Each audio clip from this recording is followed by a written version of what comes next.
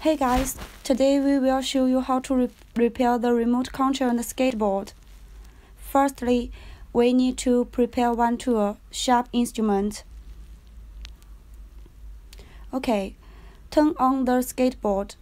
Pre press the power button for 5 seconds and the blue light will flicker.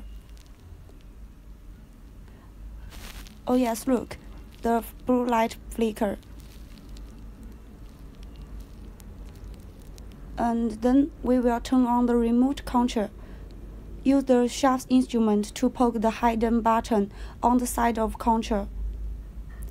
Then turn off the control and turn on the control again.